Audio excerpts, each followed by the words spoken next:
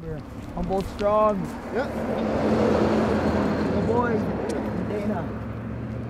Have a safe journey, brother. Yep. Hey. Yeah, safe travels, guys.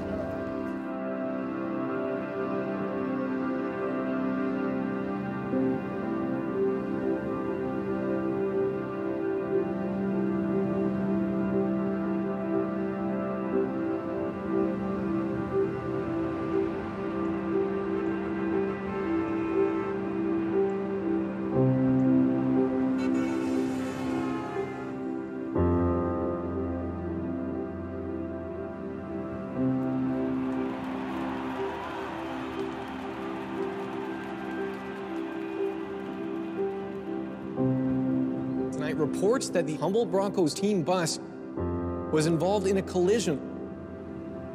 It was like a shockwave of pain hitting my body. Hockey is the furthest thing from their mind right now.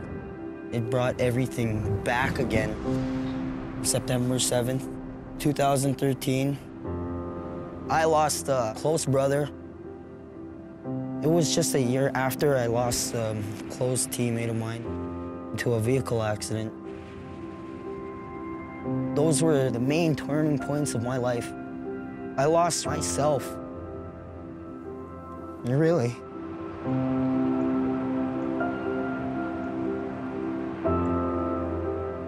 Let's start the healing. These boys shared blood, sweat, and tears together. I'm gonna share my blood, sweat, and tears for these boys.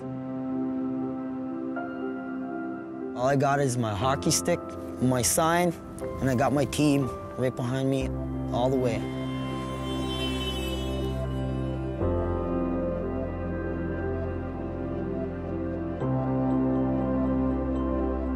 Doing good. You're doing awesome, man.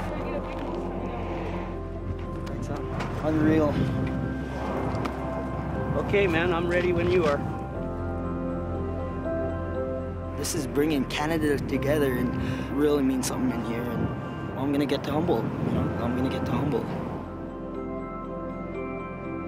When I get there, I'm probably gonna hug as much of you as I can. For the people of Humboldt, I want to play a game. Let's play a game in honor of the boys, you know?